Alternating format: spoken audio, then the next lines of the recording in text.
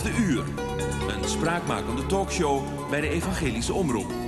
Hier is uw gastheer, Andries Knevel.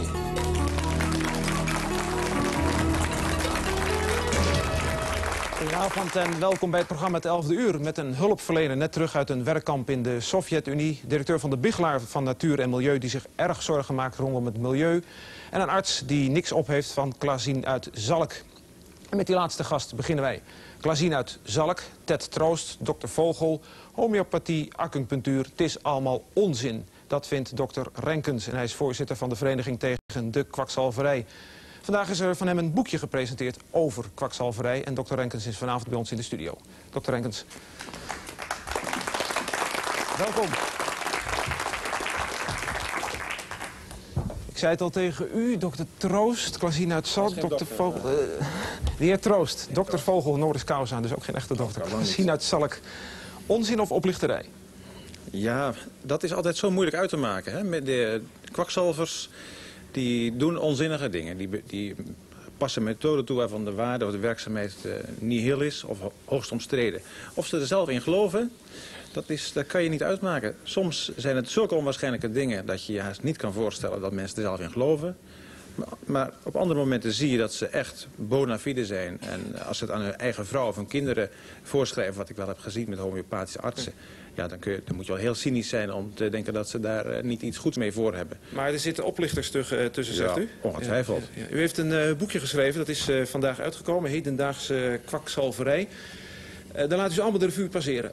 Nou, niet allemaal. allemaal... Er, komt, er komt elke week een alternatieve ja. geneeswijze bij. Dus het is niet te volgen. Maar de belangrijkste stromingen, een stuk of 18, heb ik in mijn boek ja. behandeld. U bent voorzitter van de Vereniging tegen Kwakzalverij. Ja, het woord zegt het eigenlijk al. Hè? Wat doet die vereniging? Die vereniging die, uh, probeert de publieke opinie en ook de opinie onder beroepsbeoefenaren, artsen en apothekers zoveel mogelijk te uh, beïnvloeden. En uh, de kwakzalverij te bestrijden. En de kwakzalverij van het huidige tijdschrift, de laatste 10, 15 jaar, kun je vrijwel identiek stellen aan het begrip alternatieve geneeswijze. Vroeger had je echt klassieke kwakzalvers, mensen op die markt stonden te schreeuwen. En, en ja. magnetiseurs en kruidenvrouwtjes enzovoort. Het is bijna uitgestorven. Je hebt nu allemaal homeopaten, acupuncturisten, manueel therapeuten. Allemaal deftige namen en het klinkt allemaal fantastisch. En ze zijn waanzinnig populair. Haptonomen. Heel... Allemaal uh, wat een gekke voor geeft. En dat is de kwakzalverij van de jaren 80 en 90. Dat schaart u allemaal onder kwakzalverij. Dus, dus niet alleen die uh, merkwaardige uh, kruidenvrouwtjes van de Veluwe. Ja, dat bedoel ik Klasien uit Zalk natuurlijk niet mee. Maar ook, laten we zeggen... Uh, Waarom niet? Nee. Ja, zegt u ja, ja, ja, merkwaardig? Ja? ja, ik vind het wel merkwaardig, ja. Je anno 1991, terwijl... Dus, de scheikunde al zover is dat uit elke plant vrijwel de werkzame stoffen geïdentificeerd kunnen worden, geïsoleerd kunnen worden. Dat mensen dus weer kruiden gaan gebruiken waarvan je niet weet wat erin zit. Na een een en een zonnig seizoen heeft het middel weer een heel andere samenstelling dan als het regenachtig geweest is. Het hangt er ook vanaf op welke grond het staat, dus je weet niet wat je neemt. Dus zij is een kwakzalfster. Kwakzalfster. Ja, ja.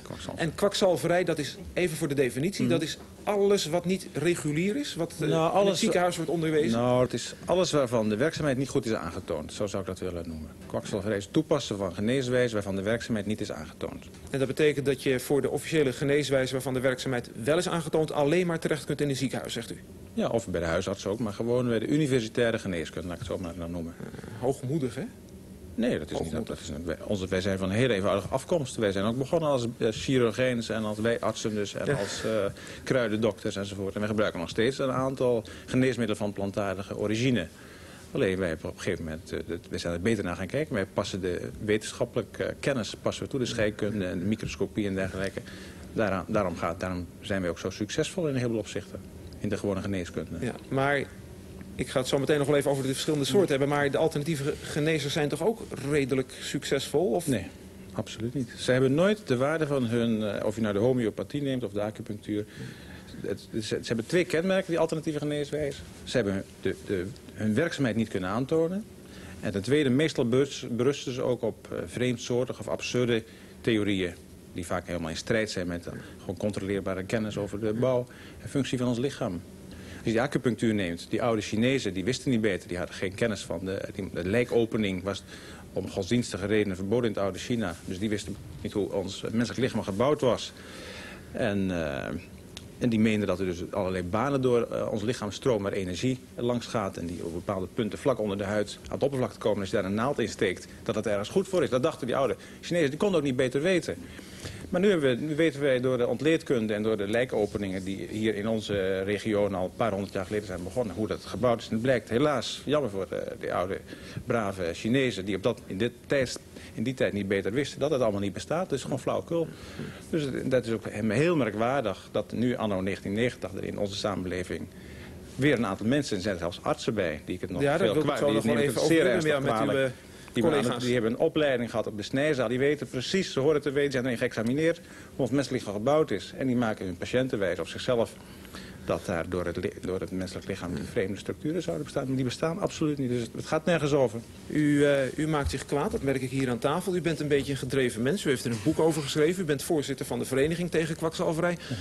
U bent arts, dus waarom, waarom doet u dat? Wat, uh, waarom zegt u niet gewoon, nou laat ze maar? Wat heb ik ermee ik, vind het, ik kan me niet neerleggen bij het feit dat er... Uh, uh, zulke grote verschillen in inzicht en opvattingen bestaan op, op, op medisch terrein tussen artsen en leken. Als je dat, vorig jaar heeft de Groningse Universiteit daar nog een onderzoek naar gedaan. En dat blijkt dat van de Nederlandse bevolking nu ruim 60% vindt dat alternatieve geneeswijzen tot de essentiële zorg behoren. Dat in het ziekenfondspakketten moet worden opgenomen, enzovoort, enzovoort. Als je dat bij aan artsen vraagt, is dat ongeveer 10% Dat vind ik nog een ontrustend hoog percentage, een ontrustend hoog percentage, als u mij vraagt. Maar dat, dat, daar is een enorme discrepantie. En die discrepantie vind je niet op het gebied van de waarde van reageerbuisbevruchting... of de waarde van de zieke, of, uh, gezinsverzorging of harttransplantatie. Daar op vrijwel alle gebieden lopen de meningen tussen de beroepsgroep... en de, en, en de, de leek of de burger parallel. Alleen op het gebied van alternatieve geneeswijzen een enorme discrepantie. Dus het is een modeverschijnsel. En ik, vind, het, hoort bij, als je, als je een zekere kennis hebt... en de, de als beroepsgroep hebben natuurlijk een kennis op het gebied van het menselijk lichaam... en het genezen daarvan dat je ook een zekere opvoeding... Het klinkt wel uh, heel ouderwets natuurlijk. En ik schaam me er af en toe ook voor. Maar het is gewoon een soort volksopvoeding wat, uh, waar ik mee, mee bezig ben te houden. Dat boekje heb ik gelezen. Daar komen nogal wat denigrerende woorden in voor. Ik heb ze even opgeschreven. Uh, warhoofden, kwakzalverij, allemaal onzin, bizarre theorieën, vitamine C-religie u slaat zo nogal wild om u heen ja, in dat boekje. Hè? U pakt ze nogal. Ik, ik behoor dus tot die 90% van de artsen in Nederland... die vinden dat alternatieve geneeswijzen niet tot de essentiële zorg horen. En een heleboel artsen, en, en daarom is het verschijnsel ook zo populair kunnen worden volgens mij... die die zijn niet graag bereid om hun mening daar duidelijk over, te, over uit maar te waarom spreken. waarom slaat u dan zo wild om u heen? Want dan kunt u ook niet meer discussiëren met deze mensen. Ja, ik, oh, dat, is, eh, dat moet ik regelmatig doen. Niet altijd op mijn vreugde, maar ik heb dat heel wat achter de rug. Ze roepen u ter verantwoording. Ik heb er een, een, een sport van gemaakt om eh, de, de, opvatting die door de grote meerderheid van de Nederlandse artsen uh, wordt uitgedragen en aangehangen en de wijze waarop de geneeskunde aan onze universiteit wordt gedoseerd... om dat op een heldere en zo u wilt scherpe wijze onder woorden te brengen. Maar ik vertoon niets anders dan de meerderheid van de grote de, de, de, Nederlandse artsen. Maar waarom dan van die beledigende woorden? Want u beledigt, u, u beledigt de mensen wat in dat boekje. Ik beledig, u, uh, u, suggereert ook dat het soms om de portemonnee gaat, om het geld gaat. Ja, dat wilt u toch ook wel aannemen? Of uh, heeft u zo'n vertrouwen in de mensheid dat er, uh, dat, dat, dat, er niet voor zou kunnen komen? Ja, maar u denkt dat het bij de kwakzalvers in extra mate gebeurt? Dat denk ik wel, ja. Dat het echt om de portemonnee van de mensen gaat bij een aantal mensen? Bij een aantal mensen wel, ja. Dat, dat, dat, dat geloof ik zeker. Ja, maar u kunt ze toch niet over één kam scheren? Er zijn toch mensen die met hart en ziel bezig zijn die mensen te genezen? Ja. Althans, dat pogen? Ja. ja. Maar dat neemt u ook aan? In de definitie van kwakzalverij die ik hanteer... wil ik mij dus niet uitlaten over de intentie van de boefenaar. Of hij nou te goede trouw is... Ja. Of het alleen maar doet om, om voor het geld, dat, dat, dat, daar kom je toch niet achter. Hij zal altijd beweren dat hij te goede trouw is.